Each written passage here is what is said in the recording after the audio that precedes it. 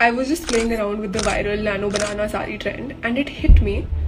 This used to be a job of a graphic designer. But with just one prompt, AI can do it instantly. And this got me thinking if AI can do that to art, what is it doing to finance? You think your finance job is safe?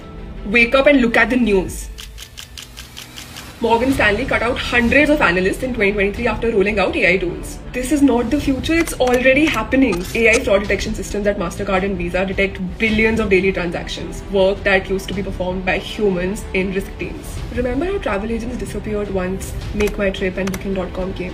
The same thing is happening in finance. If you're only using Excel and AI is doing algorithmic trading, you can kiss your finance future goodbye. But here's a flip side too. AI and fintech are not killing jobs.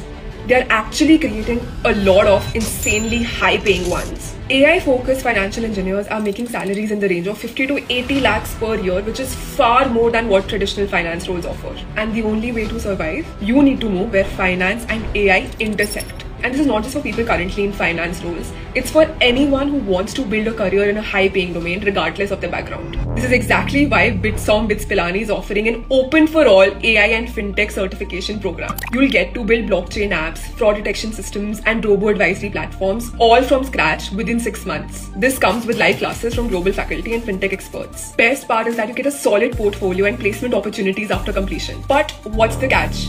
The seats are limited and the qualifier test is this Sunday. It costs just rupees 99, less than your coffee order.